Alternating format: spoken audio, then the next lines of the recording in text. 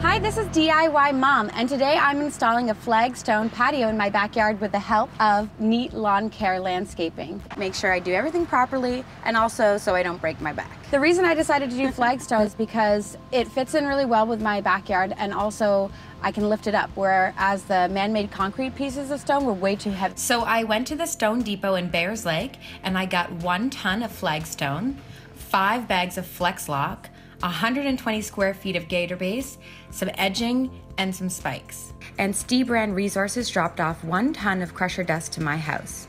This gator base is going to save me a lot of labor and a lot of heavy lifting, and it's just going to make the whole process so much faster. The first thing I did was measure, mark, and cut out the sod in the area that I want to lay my flagstone patio. So I'm doing 120 square feet of flagstone patio today.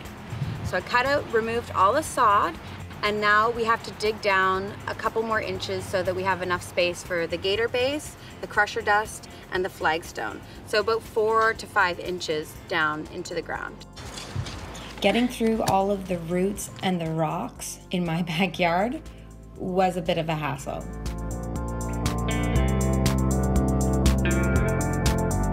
Chris even had to get out his concrete saw, connect it to my hose, and cut the granite that was peeking out of the ground with a diamond blade. After the rock was removed, we tampered the ground. Then we lugged one yard of crusher dust to my backyard. Okay, now dump it in the pit. Can you move it over to the pit? Dump it.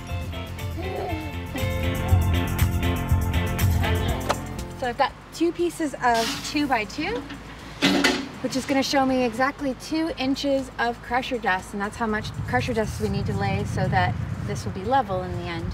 And I'm taking my level, I'm just gonna pull it across the planks of wood and draw it back. What are you doing, Mommy? Leveling out the crusher dust. Okay. Take this. I can do that too. You can do it too? Yeah. I do how. Push this over into this box. Mm. So we laid down two inches of crusher dust, leveled it, tampered it, and then we're gonna get going on our gator base. So we're gonna lay these like bricks. We're using the edging to get our spacing so that we know where we wanna lay the base. And then once we're done that, we're gonna start laying our flagstone. So that's the fun part. We're laying the stone basically like a puzzle, just trying to make them fit as naturally as possible. Lennon, can you find a square? Go on. What do you think? Oh, good spot. Okay, so now that I have my stones in formation, I am just using a little bit of my crusher dust to level out some of the uneven parts. It's going to be a little bit uneven with the natural stone, but I'm just trying to minimize that. Now I'm just securing the edging with some spikes. Okay, so this is Flex Lock Dust, and it's good for four inch gaps. All I have to do is scoop this into the joints.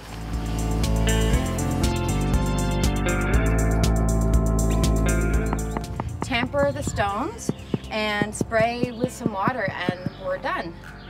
It's got a glue compound in it that when it gets wet, it solidifies and it's gonna hold the stones in place so they're not gonna shift over time and over the winter. My patio, hopefully after all this work, will be here for a hundred years.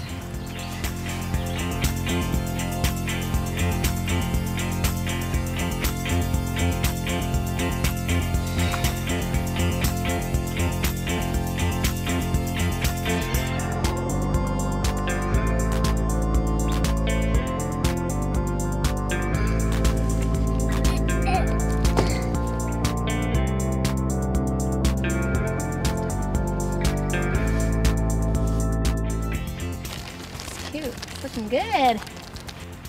Must have a little patio.